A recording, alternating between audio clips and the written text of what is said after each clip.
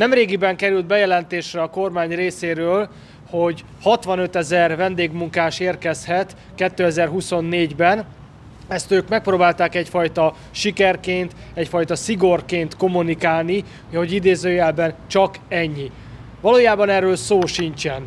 Ráadásul, hogyha tekintetbe vesszük, hogy már az itt lévő 120 ezer vendégmunkásra ez nem vonatkozik, ugyanúgy itt maradnak, és még azt ők maguk is elmondták, hogy ez a 65 ezeres szám változhat, tehát például, hogyha a multik úgy kérik, akkor 2025-ben ennél több is lehet, de akár azt se zárjuk ki, hogy már idén változtathatják ezt a számot, és azt is vegyük figyelembe, hogy nagyon sok vendégmunkás elmondta, hogy nem két évre tervez, hanem pár hétre hazamegy, aztán újra visszajön. Tehát mindezeket tekintetbe véve biztosan kijelenthető, hogy a következő években növekedni fog a vendégmunkások száma Magyarországon, de egyébként, hogy mondjam el, hogy ez a 65 ezeres szám is szerintünk magas, tehát semmiféle szigorról nincsen itt szó.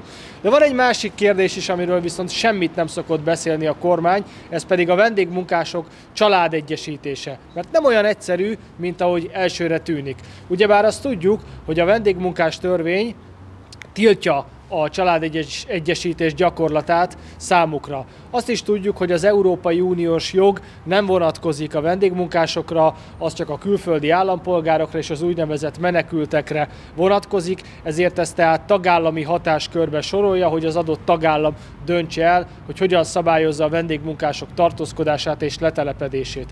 Azt viszont már kevesen tudják, és senki nem mutatott rá, hogy a korábbi szigorúnak mondott vendégmunkás törvény ezer része 2024. január 1-én, mielőtt hatályba léphetett volna, nem is lépett hatályba, azért, mert korábban egy másik újra szabályozással tulajdonképpen módosították a vendégmunkások letelepedéséről szóló pasztusokat. Miről van szó? Arról van szó, hogy a 2007. évi második törvény volt az, amely korábban szabályozta a külföldi állampolgárok letelepedését és tartózkodását. Ezt a 2023. évi 90-es törvény kiegészítette a vendégmunkásokra vonatkozó résszel, és ez lett az irányadó elv, nem az, ami a korábbi szigorúnak mondott vendégmunkás törvényben szerepel.